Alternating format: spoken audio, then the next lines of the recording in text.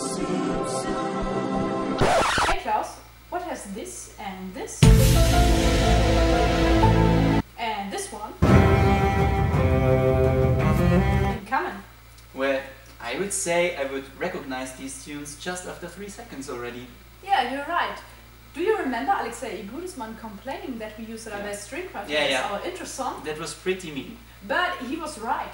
We really need our very own jingle.